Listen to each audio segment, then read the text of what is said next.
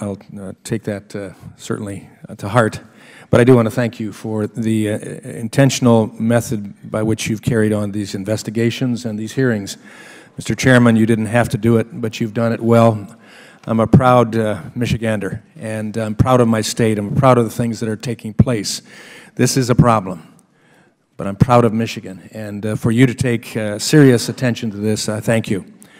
And Governor Snyder, um, we appreciate you voluntarily uh, coming today we appreciate you voluntarily releasing all your emails uh, so they could be part of the record. Uh, we appreciate the fact that you're willing to answer uh, tough questions uh, that this co committee will offer today and outline the steps you're taking to solve uh, the crisis and help Flint recover, because we want Flint to recover. It's a great city. It uh, has great workers. I've driven great cars made in Flint and uh, have now had the opportunity to look in the eyes of Flint citizens uh, who have experienced this tragedy, a human-made tragedy. Governor, let me ask you, when did you first learn of the instances uh, of a question here that was brought up uh, just the other day as well, and it's a concern, the instances of Legionnaire's disease in Flint? Yeah, in terms of Legionnaires, I didn't learn of that until 2016. And as soon as I became aware of it, we held a press conference the next day. Um, that was clearly a case where the Michigan Department of Health and Human Services should have done more to escalate the issue, to get it visible to the public and to me. I, I have documents here today that uh, show your staff was receiving information about Legionnaires in March of 2015.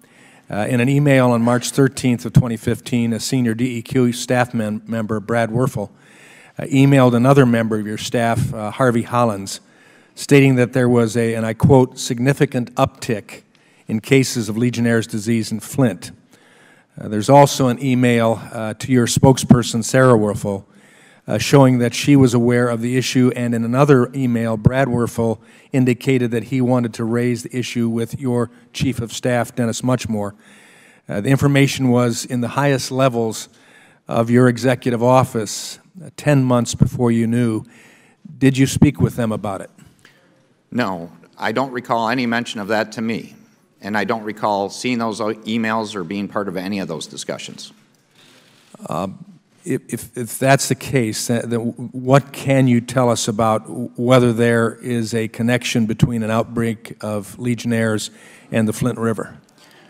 Well, obviously, given the change in water source, it's a concern. And we're going through the investigation at this point, and all parties are cooperating. The federal government, state government, outside experts are all working this issue. Um, we actually brought in expertise from Wayne State University that I know you're familiar with, um, Congressman Walberg, an outstanding institution in terms of an additional researcher to look at the causation connection. Um, I'm happy to share some information with you that will give some perspective on the number of cases and what we have information on so far. I actually have a chart. I don't know if it's available to people, but I'd be happy to share that in terms of seeing some of the numbers themselves. I would ask the, ask the chairman if we could have that submitted for the record. Um, Without objections ordered, we'll get a copy and distribute it to members as soon as we can photocopy it. If staff could come down and get that piece of paper, that would be great. Okay. Um, what I would also say is I've also asked for an investigation by the Inspector General and the Auditor General of the State of Michigan, which is an independent organization, to go look at the Department of Health and Human Services with respect to this whole discussion of what was disclosed, the processing of this, because this should have been handled better. Yeah. Uh, Administrator McCarthy, uh, does the Safe Drinking Water Act provide you with the authority to act in a situation like Flint? Uh, it does when we have the, the appropriate information, sir, yes. Upon receipt, uh, it says, upon receipt of information, the EPA administrator may take any action she deems necessary to protect human health. In September uh, 26, 2015, you wrote an email to an EPA official that appeared in the AP last night, in fact, a report. Uh, you said um, the situation in Flint could, and I quote, get very big quickly. You didn't act until January 21st, 2016. Why? Well, sir, the, the, the action that we were recommending or would have taken was action that was already happening It was only until January did I realize that the state wasn't continuing and the city wasn't moving forward quickly enough to address the issue. But that was very late in the game, sir. The gentleman's, gentleman's time is